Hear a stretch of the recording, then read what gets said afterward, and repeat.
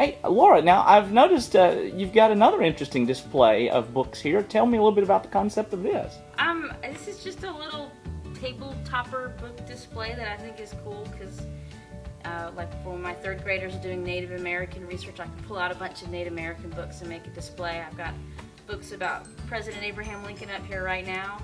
Um, it's just a nice way to draw attention to a set of books or a similar theme set of books, and kids like that. Um, helps them find just what they want every single time. And you found when you group the books together like this, they actually tend to check them out more. Yes, they do, definitely. They like things that they can see the whole face of.